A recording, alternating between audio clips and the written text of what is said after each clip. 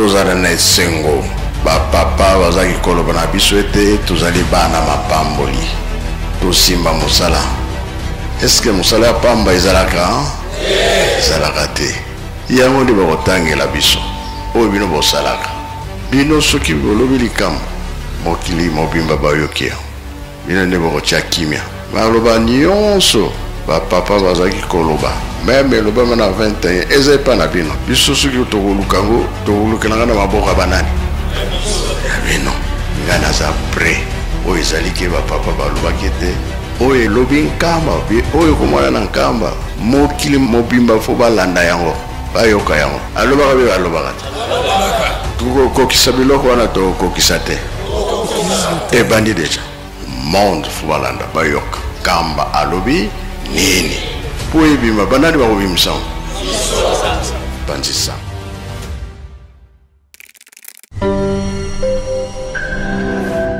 na kombo tata mwana mpe tata molimo santu mingi bakomituna ndenge nini baomonie bamema serke ya papa eza invention ya biso te eza ordre tozwaki na periode ya colonel yefa na papa diangenda ye moko mpe alobaki ebandaki na papa sagrandere mofakisolokele alobi soki biso tokei bokosala serkei wana mpamba te banda nkolo yesu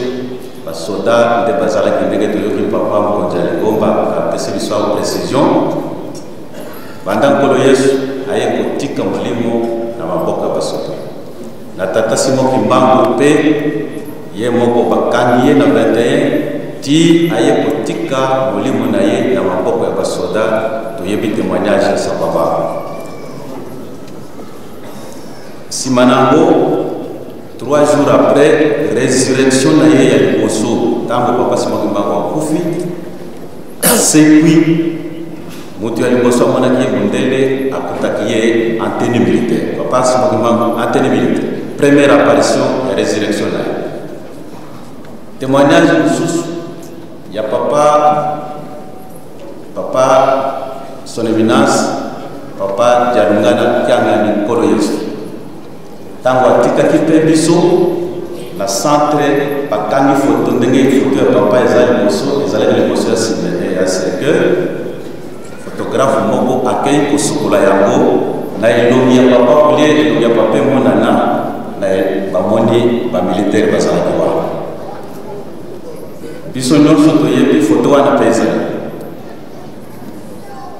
Consigne Papa Diaguenda nde apesaki yango ete makambo nyonso ya baoyo nyonso basalelaka Nzambe ezalaka toujours leta bandaka leta autorisaki papa asala mosala leta kaka ye moko nde azali na suka mpona kopesa bahonneur na tata simo kimbangu na sakabanga ndenge toyebeli yango Yango consigne ya Papa Diangienda ntango apesaki ye ete soki biso nyonso toza te bokosala yango pourquoi bomoni eke tosengi espace wana ce n'est pas notre invention eza mpe ya papa chef spirituel te eza batata na ye nde batikaki yango ndenge wana e tokokontinue kosala yango ao baza na famille sainte pamba te eza elaka makila ya tata simon kimbangu bandaka mosala na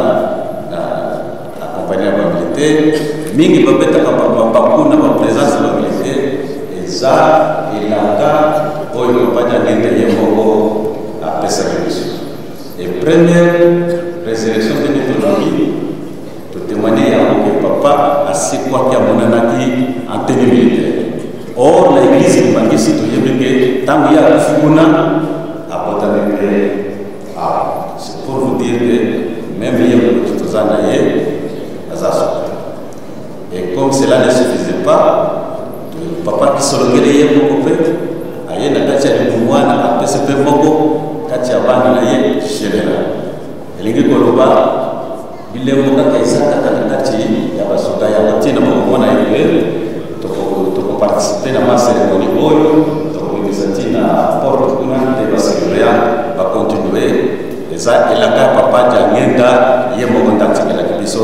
na kombo ya tata mwana ya misantu amen ekipe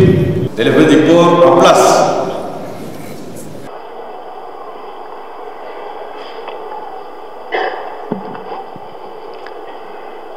eloko oyo tosali tosalaka yango na papa kisolokele tosala yango na papa jangende ye moko tosala yango mpe na papa jalungana ye moko bango nyonso misato tosalaka yango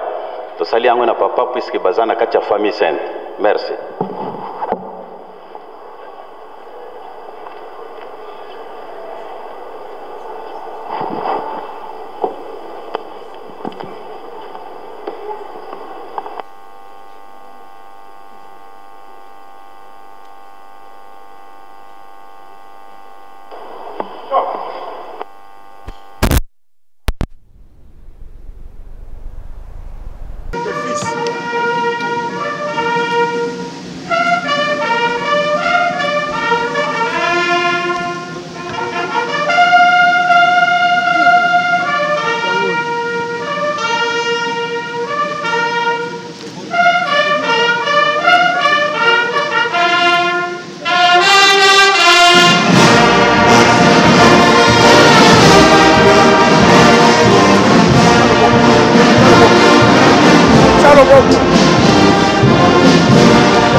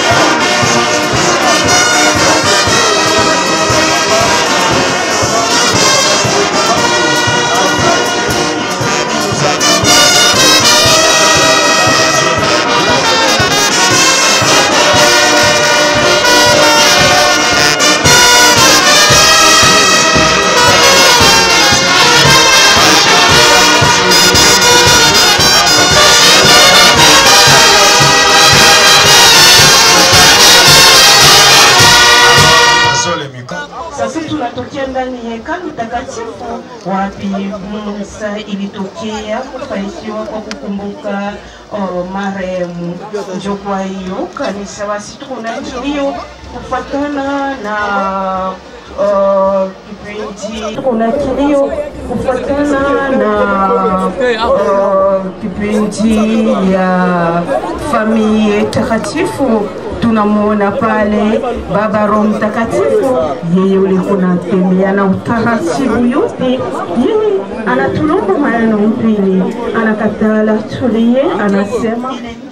tabia ya waaminifu wote wako wanasogea kwenye watashukisha mwili ya mshauri ya Baba Roho Mtakatifu, wenye wako wanatufata kwa mbali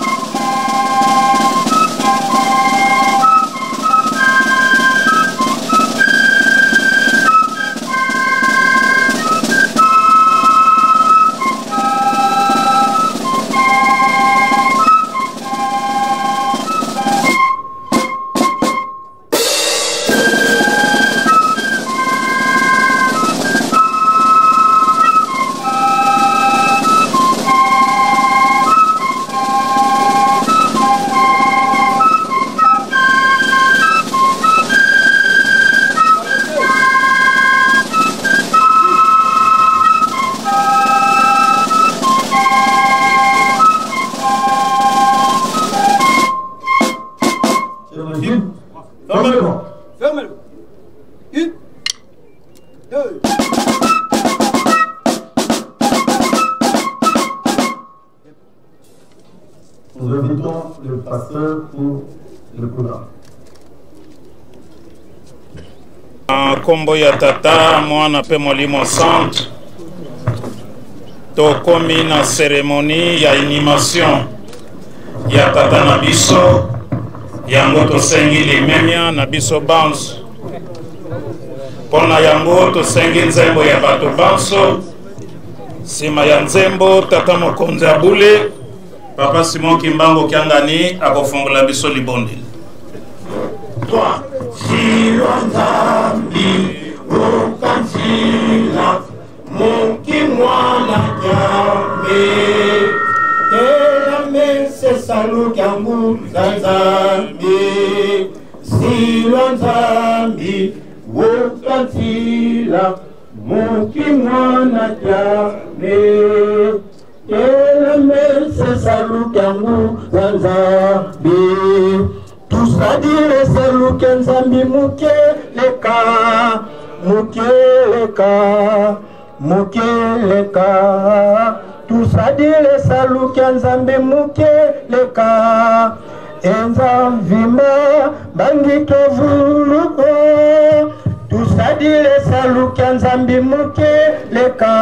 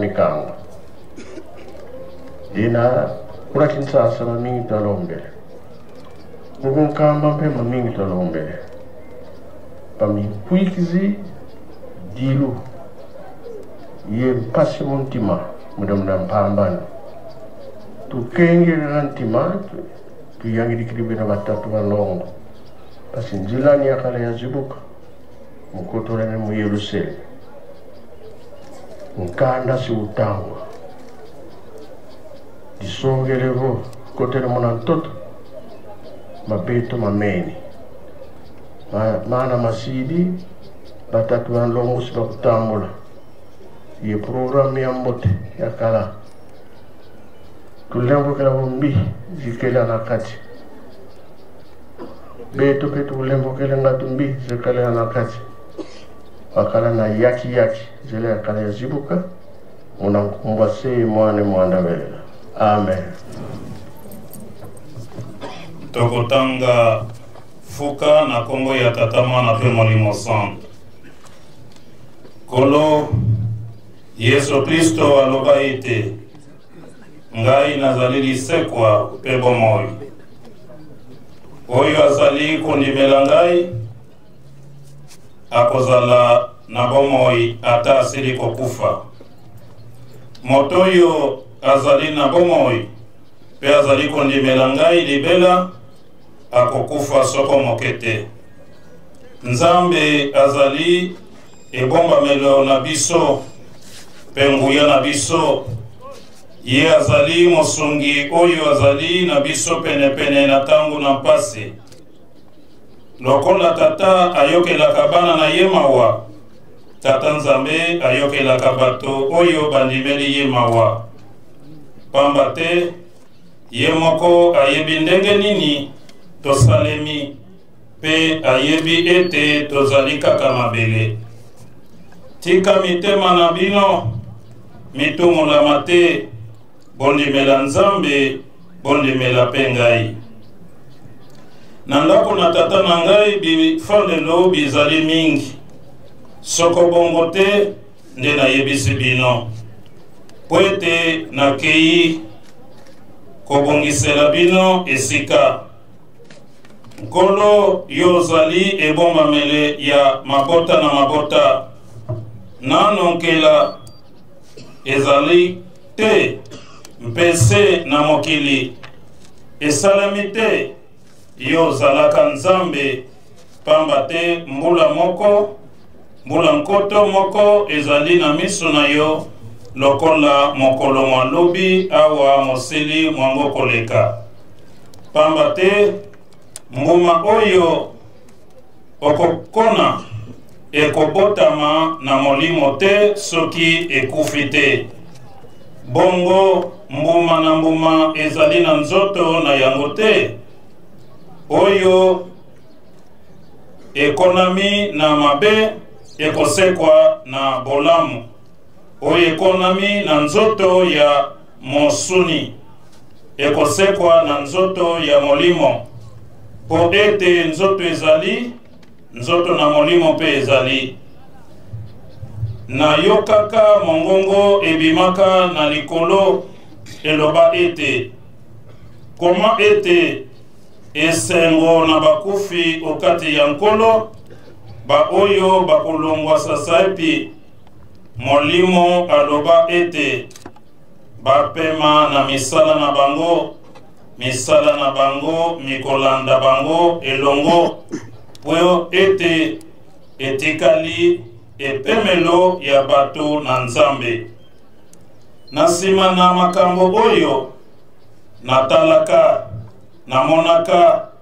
ebele monene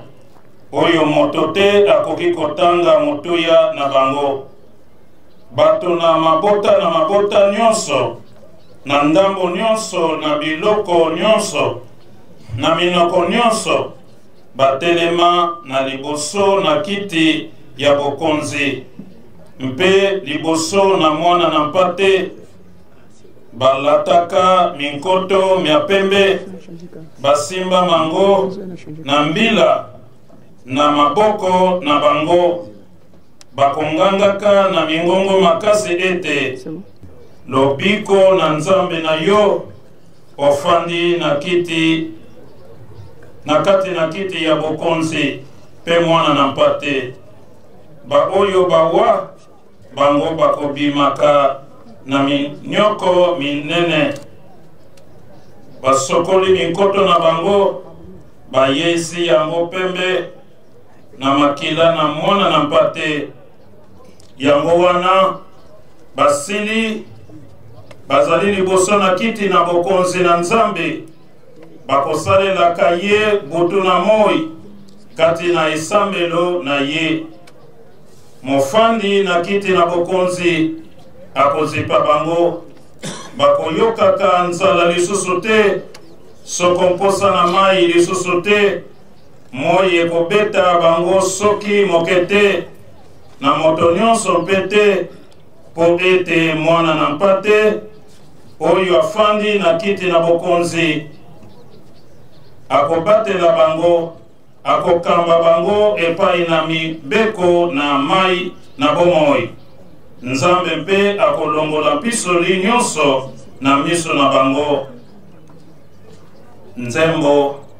mpe sanduku ekita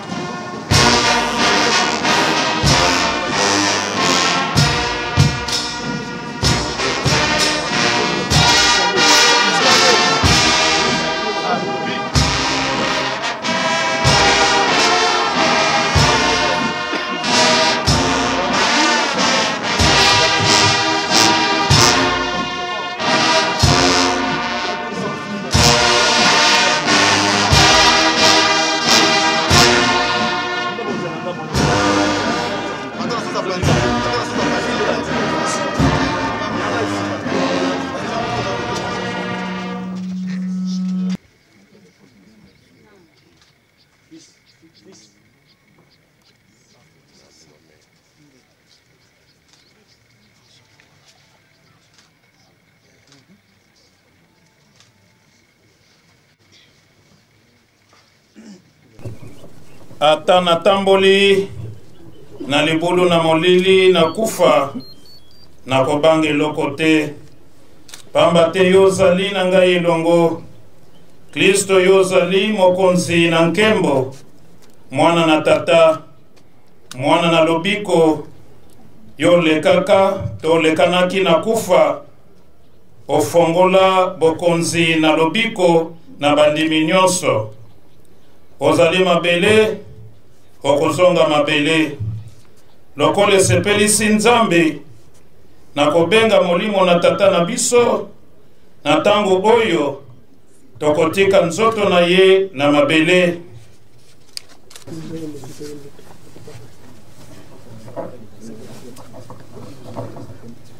Mabele na mabele.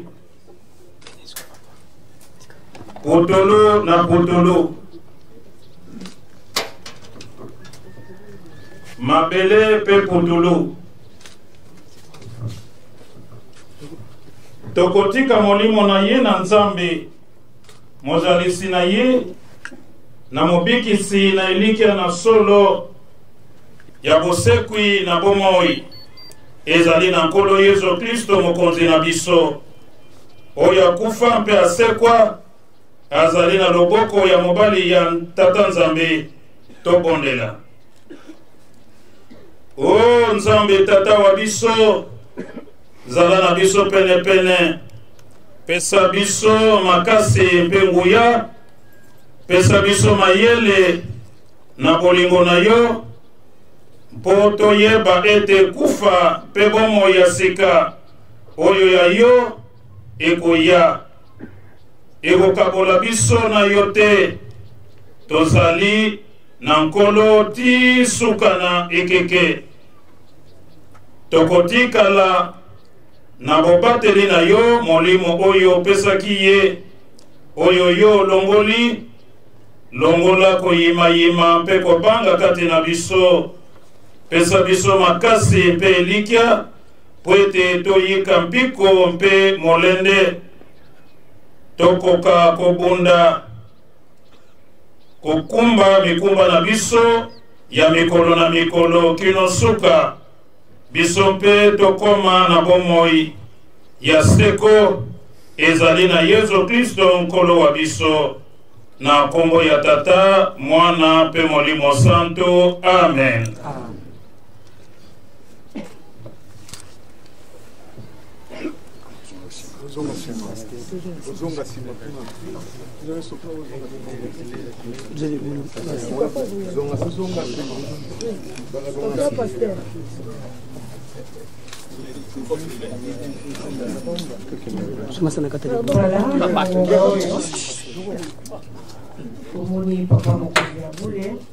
na ba conseillers direct bazali kobwaka fololo epai ya papa josé denge kolakisa ya solo mabele na mabele putulu na putulu ndenge eyebi ke lisekwa ezali pamba te moko na kati na bango asili kotika biso na nzoto oyo bokabwani ya solo esalaka mpasi mais azali elombe ake kobundela biso bitumba ndenge tolandaki ye na mateya tozala mpenza makasi mpamba te ye azali elombe mpe likambo na bango eyebanaki uta kala yango tozali komona bamama conseiller na papa conseiller bango wana bazali kobwaka fololo na nzoto ya papa diangenda kondima